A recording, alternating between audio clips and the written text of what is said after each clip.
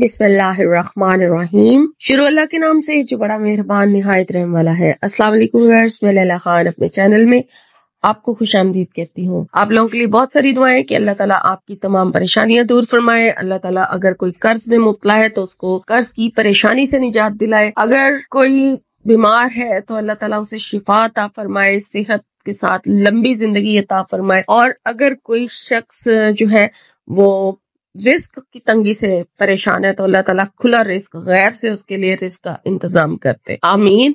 और स्टूडेंट्स के लिए खास दुआ है, क्योंकि एग्ज़ाम्स का दौर है, सब बच्चे जो है, हर क्लास के एग्ज़ाम हो रहे हैं तो सबके लिए दुआ है कि अल्लाह ताला सबको आला नंबरों से कामयाबी अता फरमाए। आमीन।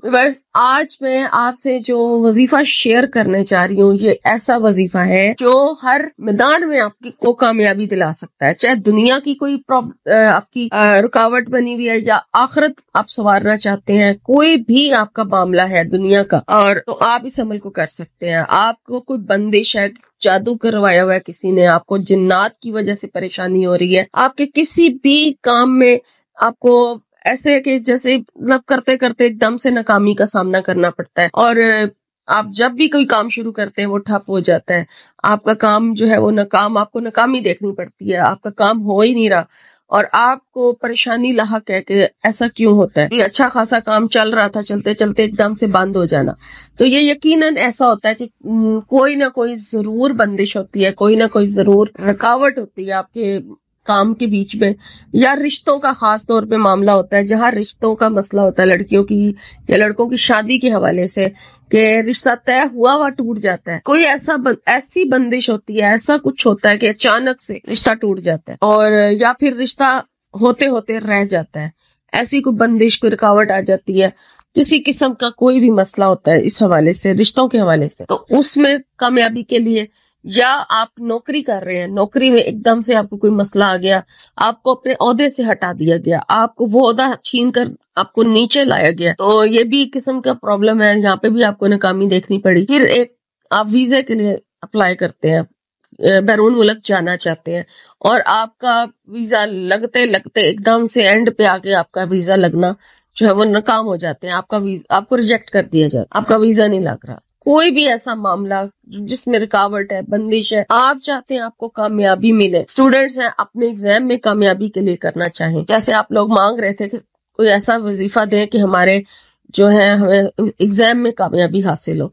तो उस हवाले से ये वजीफा हर मैदान में कामयाबी के लिए, हर रुकावट, बंदिश दूर करने के लिए, हर हाजत को पूरा करवाने का अमल है, जो आज आपसे शेयर कर रही हूँ और इनशाला इस अमल को करने से आपका वो काम सात दिन के अंदर अंदर पूरा हो जाएगा। तो सात दिन के अंदर अंदर आपका काम हो जाएगा इनशाला इस अमल को पूरे यकीन के साथ करें और पूरे ही तवज्जा के साथ करें तो इन ताला आपका वो काम जिस मकसद के लिए भी अगर कोई हाजत भी अल्लाह के सामने आप पेश करना चाहते हैं, एक हाजत है या आपकी हज़ार हाजात है जो जो आप दुआ मांगना चाहते हैं, इस वजीफे के साथ आप मांग सकते हैं।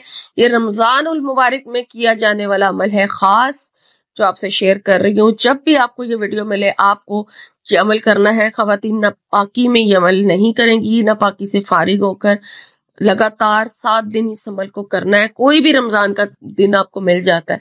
आप ये अमल शुरू कर दें और इसको आपने यानी बगैर नागे के करना है। एक दिन भी नागा ना हो और फिक्स जगह, फिक्स टाइम पर करेंगे आप, ठीक है? सात दिन का अमल है। जगह और टाइम जो है, उसका आपने ध्यान रखना है। जिस नमाज़ के साथ चाहे आप इस अमल को कर सकते हैं, लेकिन बेहतर है कि आप इसे फजर की नमाज़ के बाद जब सूरज निकल आए तो तब कर ले। इशराक के बाद कर लें। या अगर उस टाइम पे नहीं कर सकते तो तहजत के साथ इस अमल को आप कर लें। एक टाइम आपने फिक्स रखना है।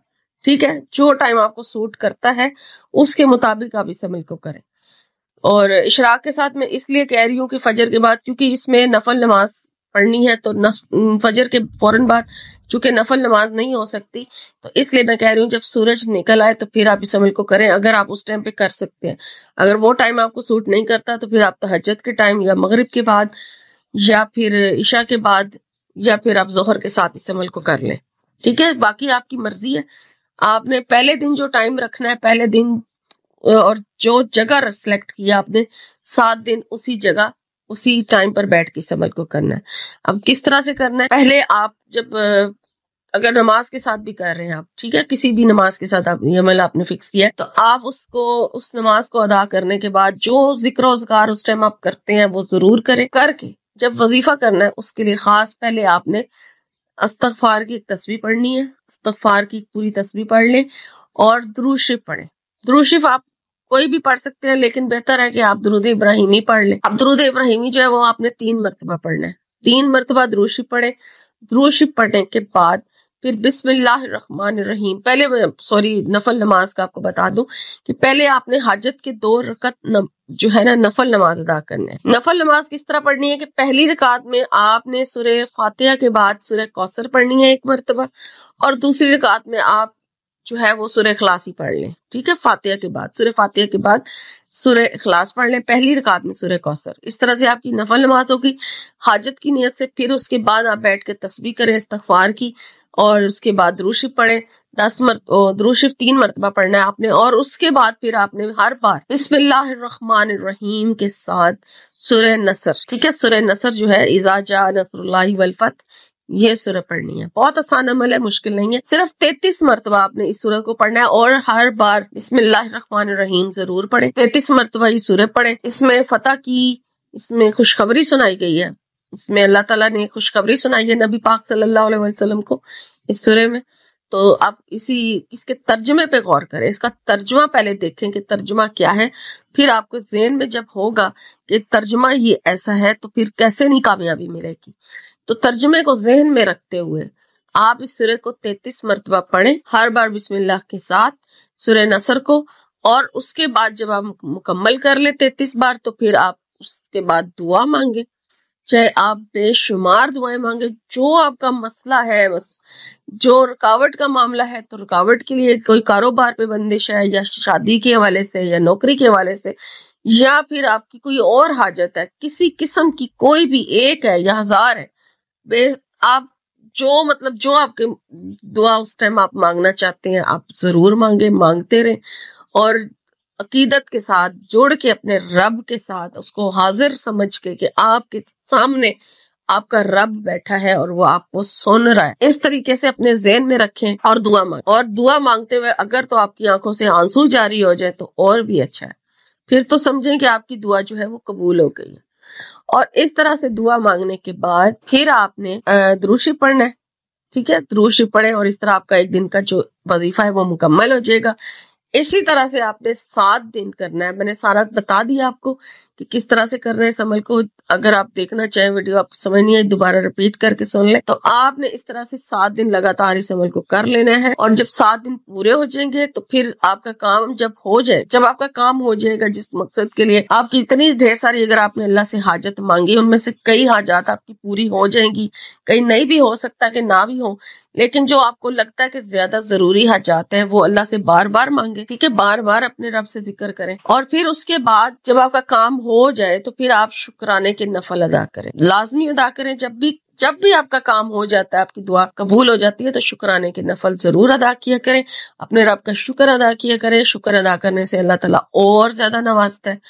तो ये ज़रूर किया करें और फिर उसके बाद आपका सात दिन इसी तरह से अमल जब पूरा हो जाएगा, मैंने आपको सब बता दिया।